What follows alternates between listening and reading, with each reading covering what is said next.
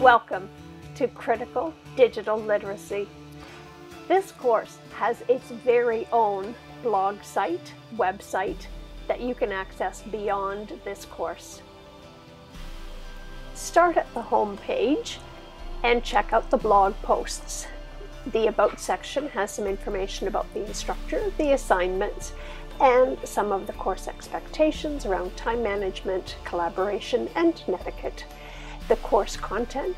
Each week has its own individual page and the lab section has information about digital tools and resources that will be used in the course.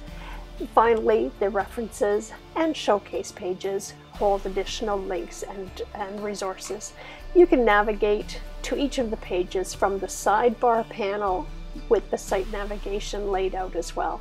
Both menus work to access the course site. I'd like to bring your attention to the course expectations, the collaboration, the norms of collaboration, and the rules of etiquette. We start with the common ground rules of working and learning within a, a community, an online learning community. Uh, some suggestions and tips around time management and how to break the tasks down into manageable pieces and looking at uh, the calendar that is set up for the course as well as a quick video, uh, inspirational video for you to, to view.